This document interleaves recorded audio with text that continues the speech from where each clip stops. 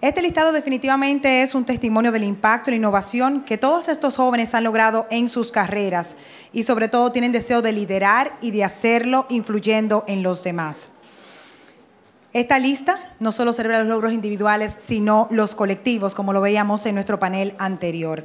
Vamos a hablar ahora con este grupo de líderes emergentes que ahora están demostrando, muy importante, que la juventud es un impulso para la excelencia en la dirección nos acompañan para explorar experiencias, estrategias y lecciones en el camino hacia el éxito empresarial. Voy a pedir me acompañe para moderar y llevar todo este panel a Juliana Ramón, subgerente de regulación e innovación de la Superintendencia de Bancos, junto a ella Patria Badía, directora de riesgo de mercado y liquidez de Scotiabank Dominicana, y Jordi Alexander Nader, CEO de Nader Enterprises.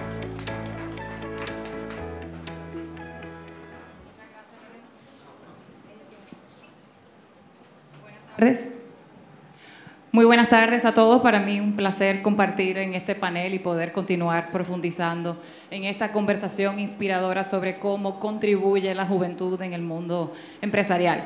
Sin dudas, eh, ese mito, ese, ese, ese paradigma de que la juventud puede presentar un obstáculo en el mundo empresarial, pues ya ha permeado un poco, pero, pero se mantiene en el imaginario eh, algo de la dificultad que puede representar ser joven en el mundo de los negocios. Y aquí, pues hoy compartimos con dos personas cuya trayectoria profesional, pues eh, evidencia cómo se pueden quebrar normas y forjar su propio camino y quizás pues inspirarnos un poquito más eh, sobre qué, cómo continuar cada uno dentro de nuestras trayectorias profesionales.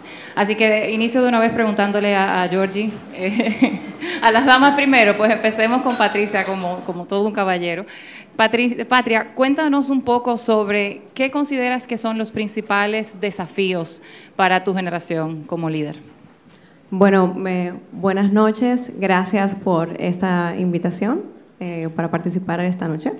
Eh, uno de los grandes desafíos que me atrevería a decir de todos los que estamos aquí presentes, 40 eh, under 40, eh, básicamente es el reto de gestión de talento multigeneracional. Realmente eh, las nuevas generaciones aportan nuevas ideas, eh, tienen distintos estilos de trabajo, sobre todo, pero en el momento en el cual nosotros podemos conectar con estas ideas, tenemos una comunicación totalmente efectiva, con un liderazgo asertivo.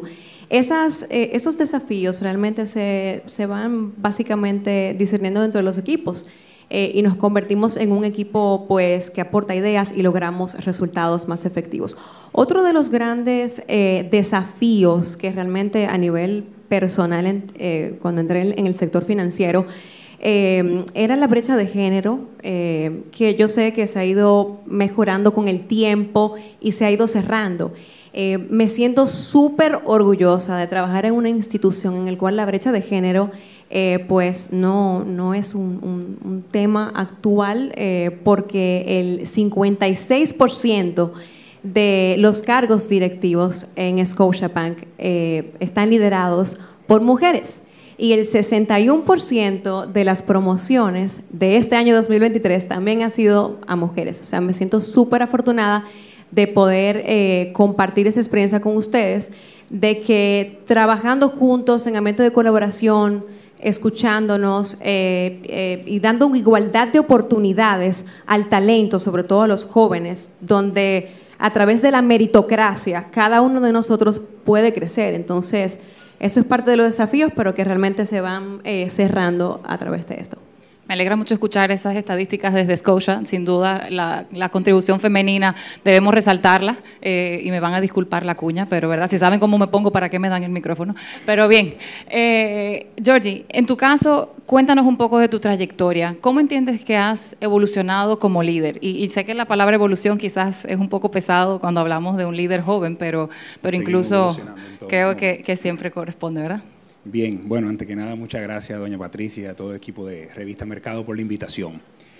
Mira, en el caso particular mío, yo empecé trabajando prácticamente de los 8 o 10 años, acompañando a mi padre a distintos temas de negocio, especialmente a ferias y a subastas, desde Miami, Nueva York y otras ciudades.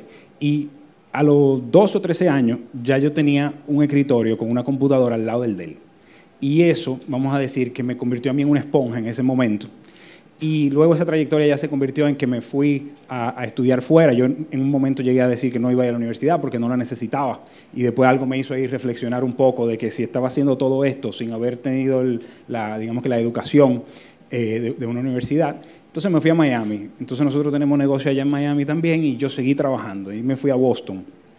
Eh, en, un, en, un, tema que yo aprendí durante ese tiempo, porque todo el, el, dinero que me ganaba durante ese momento, yo lo invertía, entonces yo quería decir, yo quería estar del otro lado del banco, que el dinero trabajara para uno más que, más que lo que uno trabajaba para el dinero. Y eso me hizo reflexionar un poco y ahí entonces dije, yo tengo que estudiar finanzas.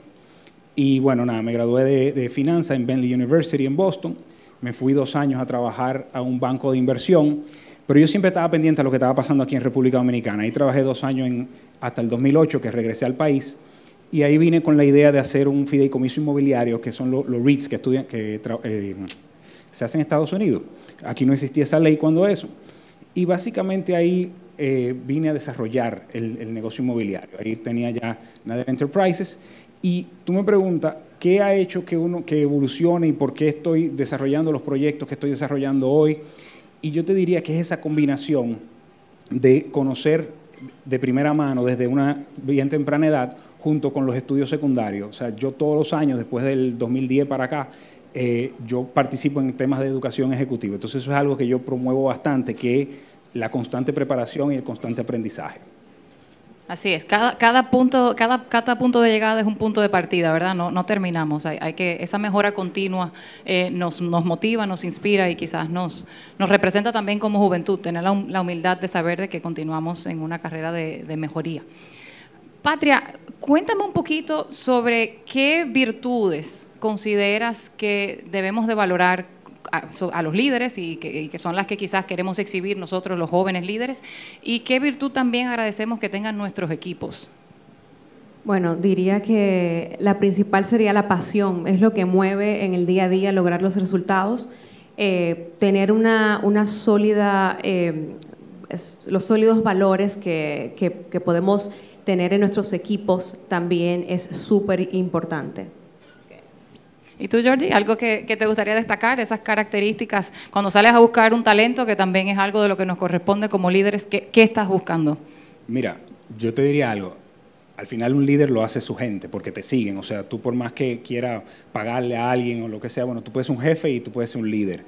Y yo creo que lo que más difícil eh, tenemos nosotros como líderes es que cuando tú tienes una visión grande, tú convertir y inspirar a todo el que te rodea de, lograr esa visión y que todo el mundo tenga esa misma motivación, esa misma pasión que tú tienes.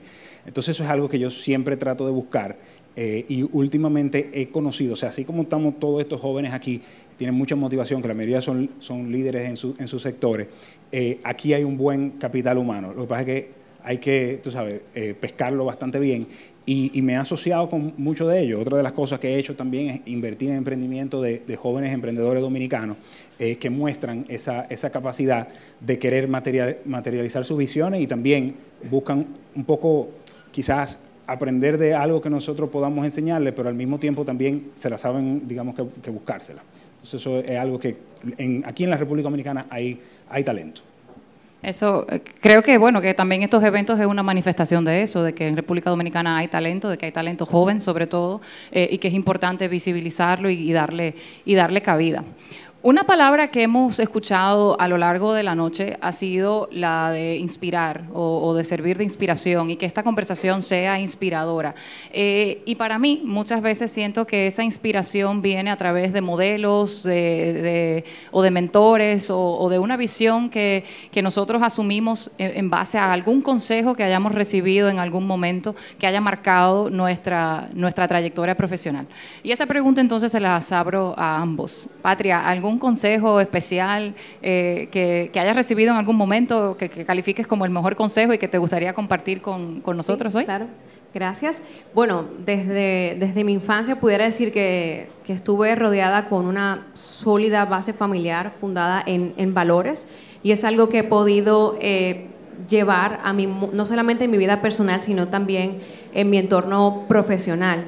Eh, y uno de los principales consejos que también me dieron en algún momento era que en el momento de yo decidir trabajar para una institución, crear un proyecto, confiara en mis valores, los defendiera 100%.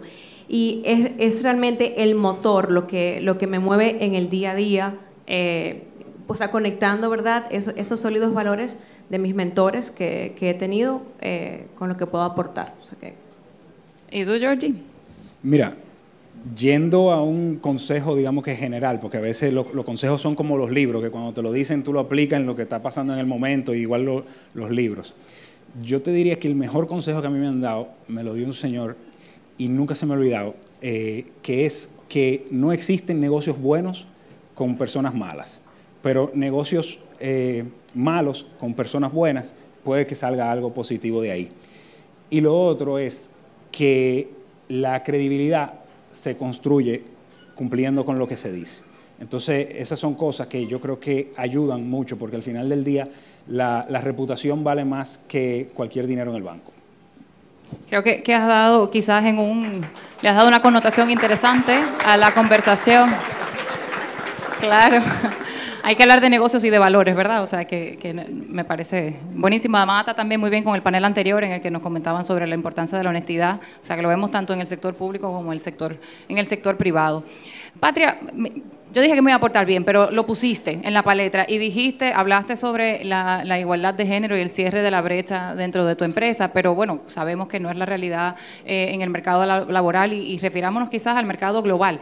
Pero en tu caso personal, eh, como mujer joven, y verdad, se, añade un adjetivo ahí, una, una condición adicional en siendo joven y mujer, eh, ¿crees que has tenido alguna, alguna traba adicional o, o algo, alguna dificultad particular eh, que te haya tocado sobrellevar en tu carrera? Realmente no existe una fórmula perfecta eh, para poder desarrollarnos y crecer en, los entornos. Siempre van a haber desafíos.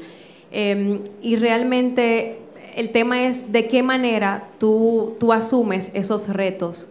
Eh, cómo vas a, a, conectar con las personas, siempre con ese ambiente de, de, colaboración.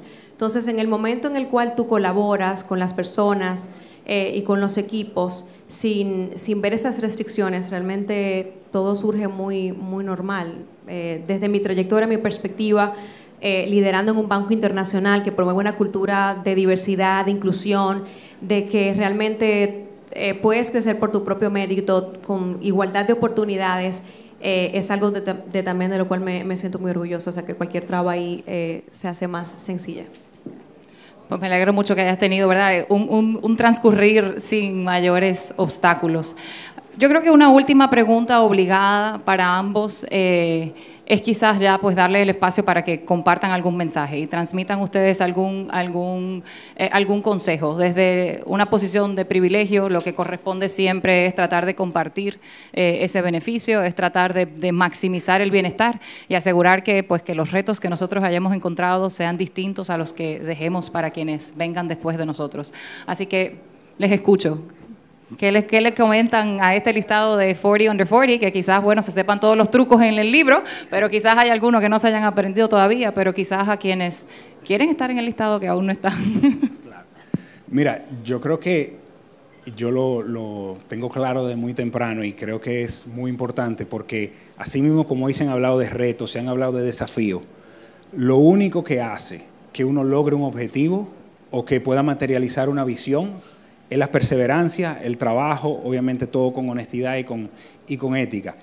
Y la única forma de cuando se presentan los obstáculos, porque mientras más grande la visión, más obstáculos aparecen y más contratiempo y todo lo que conocemos de, de trabajar en, en, cualquier economía del mundo, no es un tema eh, solamente de este país, es que tengan ese propósito bien claro de por qué uno hace las cosas. Y obviamente, mientras más grande tu propósito, eh, más energía, más pasión, más formas y más creatividad tú vas a buscar de, lograr materializar esa visión. En el caso de nosotros, particularmente, estamos desarrollando un proyecto en Miches, en 8 millones de metros cuadrados, más de 20 mil habitaciones aprobadas. Y cuando tú me preguntas cómo eso, qué, nosotros estamos haciendo, o sea, ¿cuál, puede ser el propósito a través de un desarrollo inmobiliario. Y realmente el desarrollo inmobiliario en Miches lo que nos permite a nosotros es, primero, posicionar a la República Dominicana como, un destino de inversión, pero al mismo tiempo apoyar a las comunidades locales a que todo el que viva allá se pueda tener una mejor calidad de vida mañana, que vea que hay oportunidades. Y en línea con eso, lanzamos recientemente, por ejemplo, una iniciativa que se llama Miches hay futuro. Y básicamente lo que nosotros estamos haciendo a través de esta iniciativa es visitando escuelas, visitando centros donde hay jóvenes y enseñarles las oportunidades que vienen para allá. Porque ahora mismo hay dos hoteles, pero en los próximos 10 años quizá hayan 6 o 7 hoteles más desarrollo inmobiliario. Y lo estamos haciendo de una manera organizada. Y lo que queremos es eso mismo, que haya una derrama en la economía de la prosperidad que nosotros vamos a crear a través de nuestros proyectos turísticos. Patria. Bueno, yo pienso que es súper importante eh, la disciplina, la consistencia, la persistencia en todo lo que hagamos, manteniendo una, eh, sólida cultura, ¿verdad?, de, esos valores que, ya los he mencionado anteriormente. Eh, hay mucho talento en República Dominicana. Me consta trabajando en una entidad internacional. talento que de hecho se exporta a otros países. por ejemplo, el presidente de, de Scotiabank Colombia es dominicano. Entonces, eso es muy importante, que nos sintamos orgullosos de que empresas eh, de, esta índole están confiando en nuestro país, en nuestros talentos, en que, aquí podemos desarrollar eh, y cómo aportamos a las comunidades. Eh, y ese es mi mensaje clave, como mantenernos siempre, siempre pensando con esa visión y con ese propósito de colaboración. Patria Georgie, muchísimas gracias. Sin duda, sus intervenciones reiteran la importancia de la, contribución de la juventud. muchísimas gracias. Gracias por compartir esa experiencia con nosotros y a Juliana Ramón por, por llevar, moderar este panel.